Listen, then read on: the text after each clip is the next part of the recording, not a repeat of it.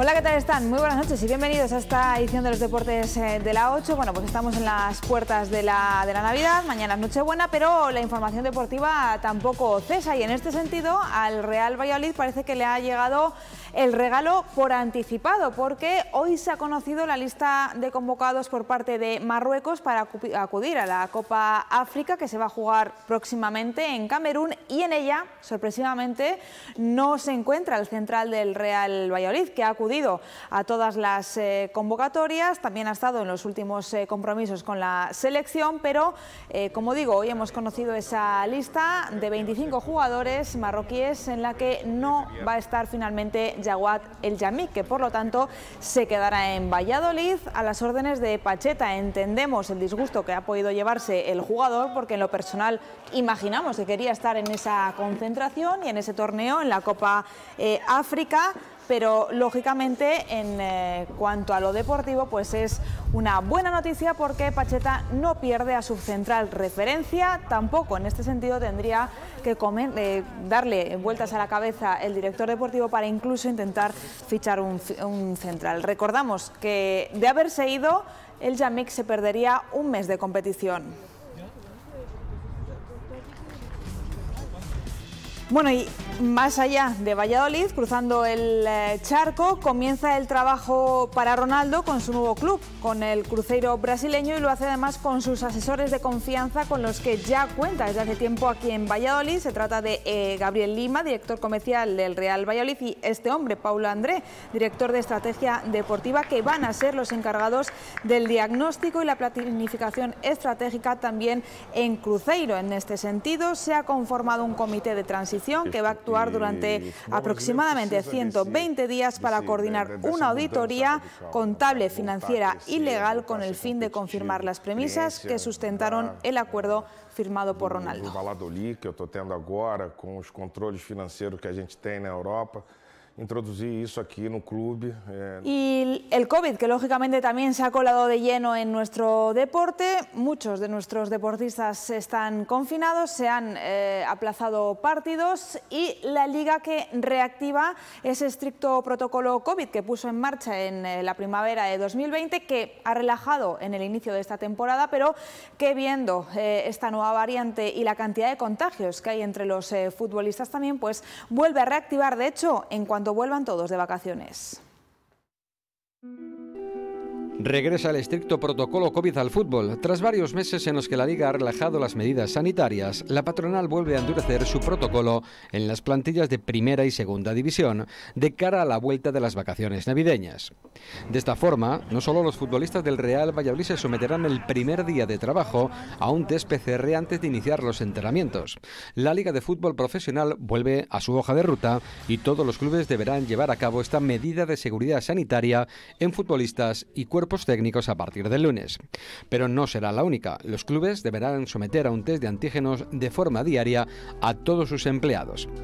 En muchos clubes preocupa la incidencia que puede haber en las plantillas a la vuelta de las vacaciones de futbolistas y demás personal. En el Real Valladolid también. Hasta que no tengamos el resultado del test, no va a entrenar el equipo. Entonces lo haremos el por la tarde del lunes y el resultado lo tendremos para el lunes, para el martes por la mañana. O sea que el martes probablemente por la tarde entrenemos ya sin ningún problema. Con toda la que está cayendo tenemos que asegurar todo. Los test PCR se harán con mayor asiduidad a partir de enero. En los antígenos diarios eh, se suman los PCR semanales. Además, se limita de nuevo el uso de los vestuarios, ya que los jugadores deberán acudir a las instalaciones ya con la ropa de entrenamiento y se vuelven a prohibir las duchas en el estadio. Tendrán que hacerlo en los hoteles o en sus propios domicilios tras los partidos. Durante los encuentros serán obligatorias las mascarillas FFP2 en los banquillos, salvo a los entrenadores. En cuanto a los viajes, la entidad presidida por Javier Tebas, propone, como ya hiciera la temporada pasada, limitar en la medida de lo posible el tiempo de las estancias en estaciones y terminales, instando a aumentar así el número de desplazamientos en autobús.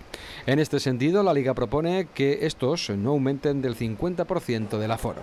Por el momento, la Liga no se ha pronunciado respecto a la reducción de los aforos en los estadios los días de partido. Pues así está la situación en el fútbol profesional y también en el fútbol amateur incluso en el resto de deportes. Les hemos contado durante todos estos días que se han suspendido carreras y pruebas típicas de esta época navideña incluso en las últimas horas el propio presidente de la Junta, Fernández Mañueco, ha pedido responsabilidad para clubes y también deportistas en este sentido. Nos vamos a dirigir a los titulares de corporaciones locales ayuntamientos fundamentalmente y diputaciones provinciales para que extremen las precauciones en la organización de acontecimientos y eventos que supongan grandes aglomeraciones con las máximas medidas de seguridad. Estos eventos, sean públicos o privados, como digo, deben tener, eh, bueno, pues eso, extremar al máximo las precauciones. De hecho, el BRAC Quesos Entre Pinares, eh, único club que no para como tal estas Navidades porque tiene que jugar el próximo día 30 ese partido de la Copa Ibérica en Portugal, le ha pedido a sus jugadores que ahora, en este fin de semana un poco más largo, eh, se van a marchar con sus familias, eh, también sean cautos a la hora de las reuniones y de evitar excesiva efusividad porque eso supondría un riesgo muy elevado para la propia plantilla. Reuniones con las familias sí, pero con mucho cuidado, lo ha dicho hoy incluso su entrenador, Diego Merino.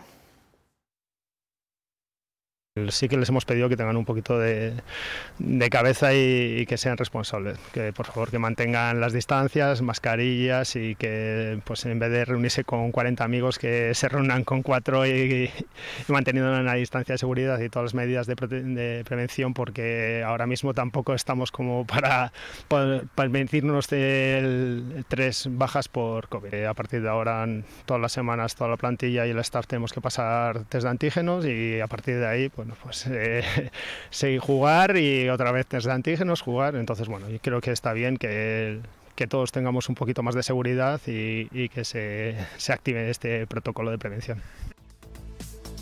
Se mostraba contento en ese último entrenamiento antes de la próxima semana Diego Merino esta misma mañana porque ya cuenta con estos dos hombres. Son los dos jugadores sudafricanos que fichó la entidad eh, que será en verano, pero porque que por trámites burocráticos no han podido llegar hasta Valladolid. Hasta hoy los dos van a estar disponibles para el partido de la Copa Ibérica de la próxima semana. Así que se han reincorporado los jugadores de la selección. Eh, se nos están recuperando lesionados. Eh, llegan hoy los dos sudafricanos que tenían que haber venido hace un par de meses. Y bueno, pues al final son 6-7 jugadores importantes y que ahora mismo nosotros también necesitamos cantidad. Ya no solo la calidad, eh, sino la cantidad. Y bueno, creo que estos, estos jugadores aportan las dos cosas. Un último apunte en cuanto al COVID, incluso el Aula Alimentos de Valladolid, el Caja Rural Aula, ha tenido que suspender los entrenamientos de esta semana porque una de sus jugadoras, Elena García, ha dado también positivo por COVID, así pues todo suspendido hasta el próximo lunes. Próximo lunes, que será cuando, por cierto, arranque una nueva edición del eh, tradicional ya torneo nacional de baloncesto junior que se va a celebrar en eh, La Flecha. No se ha suspendido este año, siguen adelante con la organización, pero eso sí, con muchos cambios respecto a ediciones anteriores. Desde el Club Baloncesto La Flecha y el Ayuntamiento de Arroyo de la Encomienda aseguran que el Torneo Nacional de Baloncesto Junior, habitual en estas fechas, se llevará a cabo con todas las garantías sanitarias para los participantes y que los clubes han optado también por mantener la competición. Los jugadores van a venir con una PCR o una PCR o un test de antígenos hecho el día antes del torneo, o sea, el domingo eh, se efectuarán los test de antígenos. El lunes por la mañana volveremos a repetir los test a los demás equipos otra vez, entre ellos el de nuestro club se le hará por la mañana.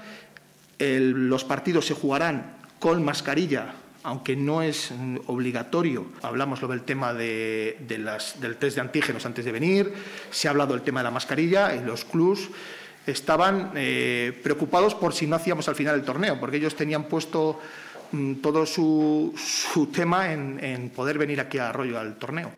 La próxima semana, entre el 27 y el 29, el pabellón municipal de La Vega acogerá los partidos entre el conjunto local y organizador, el Real Valladolid Baloncesto, Cáceres, Óvila, Valencia y Manresa.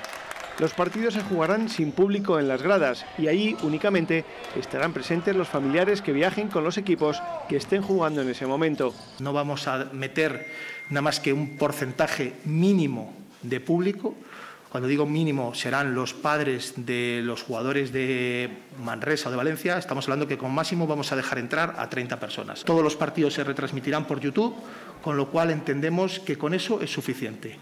No hay que poner en riesgo a nadie. Se trata de la decimosexta edición de un torneo por el que pasan los mejores jugadores de cantera de España y que en no mucho tiempo veremos despuntar en clubes del Éboro e incluso ACB. En Segopi disponemos de todo lo necesario para redecorar tu casa. Segopi es mucho más que pintura. Segopi, ven a conocernos. Nos vamos con un último apunte. Hoy el CPLV, el equipo de hockey, ha confirmado que el partido aplazado de la semana anterior frente a Castellón, también por COVID, queda finalmente marcado en el día 4 de enero a las 4 de la tarde. Encuentro que se jugará allí, en tierras castellonenses. Nos vamos, les dejamos con el tiempo. Mañana más deporte. Adiós, buenas noches.